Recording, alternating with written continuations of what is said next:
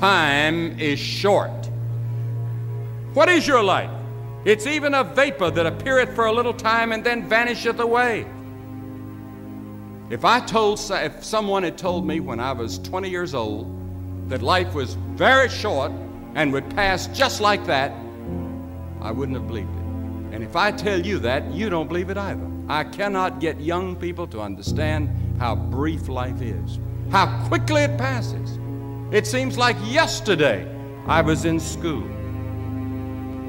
Every one of us here has been given the same amount of time in a day 1,440 minutes a day, 168 hours per week.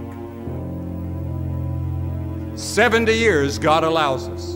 And it's interesting to me, with all of our medical science, we've never passed that magic mark.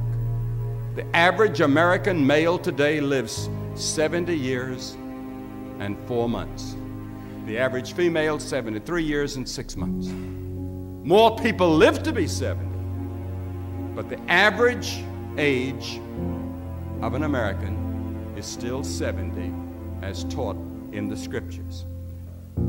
What a thing it is when you think that you have just one short life to spend and it'll soon be over. I'd write down my priorities in life. And I'd get committed to certain priorities.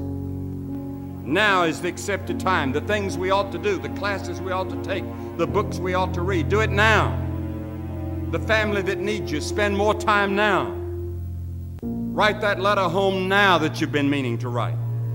Money you ought to give, give now. Time for study, do it now.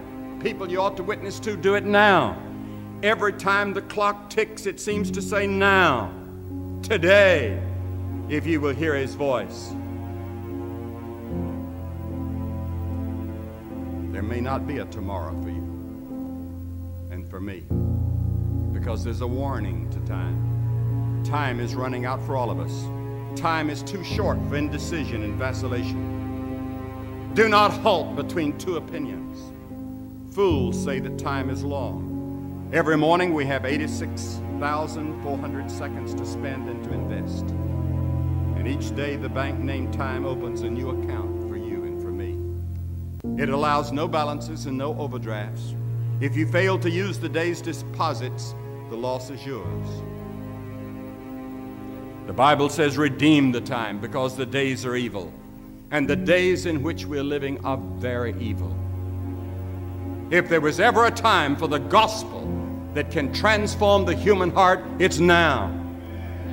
Jesus said, As long as it is day, we must do the work of Him that sent us. The night is coming when no man can work. The night is going to come in your life. Yet there was a serenity about the work of the Lord Jesus. It's the quality of life, not the length. Jesus only had 33 years, and it ended on the cross. To the world, he was a failure at that moment. Yet at the end of his life, he said, I finished the work that thou gavest me to do. It doesn't matter whether you live another year or two years or five years. Will your work be finished? Is there a quality to it? Is there a dedication to it? Suppose all of our members tithe their time to witness for Christ as we tithe our income for the church. Fill your heart with the Word of God. I've found that those who know the Scriptures are the ones that have the power today. But we need men and women who walk with God. And if you do that, you too can finish the work that God gave you to do. And help us to realize the brevity and the urgency of time. And may we invest what little time we have in the kingdom of God.